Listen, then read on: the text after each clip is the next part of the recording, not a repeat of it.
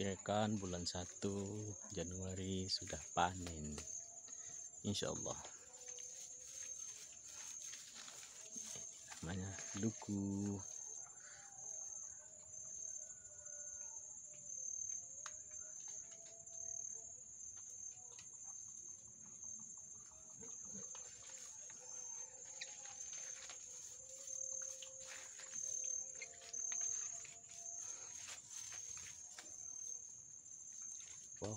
masakdi ka ni